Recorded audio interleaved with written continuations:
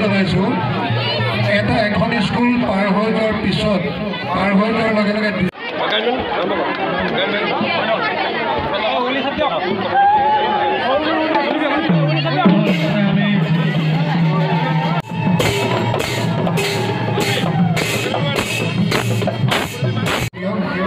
চিনাক্তকৰণ কৰিবলৈ সুবিধা হ'ব। আৰু যিসকলে এই বস্তু এই খোৱাটোতো উপভোগ কৰিব। তেওঁলোকে তেওঁলোকৰ বাবে সুনিশ্চিত হ'ব যে এইখন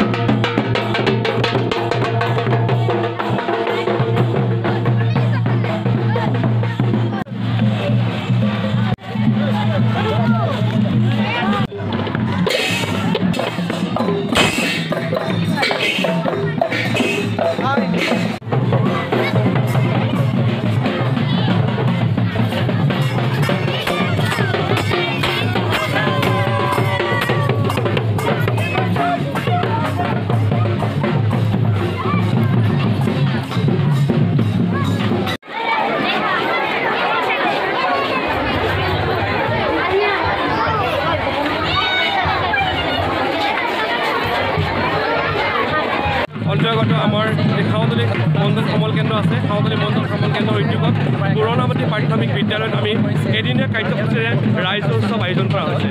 আপোনালোকে নিশ্চয় দেখিছে আমি এদিনীয়া কাৰ্যসূচী কৰিছোঁ। প্ৰথমা উত্তৰৰ পিছত বৃক্ষৰোপণ স্মৃতি ৰোপণ আৰু আমাৰ এঘাৰ এঘাৰখন বিদ্যালয়ৰ প্ৰাথমিক বিদ্যালয়ৰ সকলো ছাত্ৰ ছাত্ৰী অভিভাৱক পৰীক্ষা সমিতিয়ে সকলো আহি পেলাই আজি শোভাযাত্ৰা অংশগ্ৰহণ কৰিছে। আৰু ৰাইজৰ উৎস- উৎসৱৰ আমাৰ মূল উদ্দেশ্যটো হ'ল নামভৰ্তিকৰণ কৰি তেখেতসকলক যাতে ভৱিষ্যত সুনাগৰিক কৰিব পাৰোঁ তাৰ উদ্দেশ্যে আমি এদিনীয়া কাৰ্যসূচী ৰাইজৰ উৎসৱ আয়োজন কৰা হৈছে কেইখন বিদ্যালয় আমাৰ এঘাৰখন বিদ্যালয়ে আজি আমাৰ ইয়াত অংশগ্ৰহণ কৰিছে আৰু ছাত্ৰ ছাত্ৰীসকলৰ মাজত আমি বিভিন্ন ধৰণৰ কুইজ কম্পিটিশ্যন চিত্ৰাংকন প্ৰতিযোগিতা শোভাযাত্ৰা প্ৰতিযোগিতা আৰু অভিভাৱক আৰু সমিতিৰ বিষয়ববীয়াৰ লগত ৰচিতনা মিউজিক চলাৰ আৰু লগতে সাংস্কৃতিক আমি এটা অনুষ্ঠান কাৰ্যসূচী ৰাখিছোঁ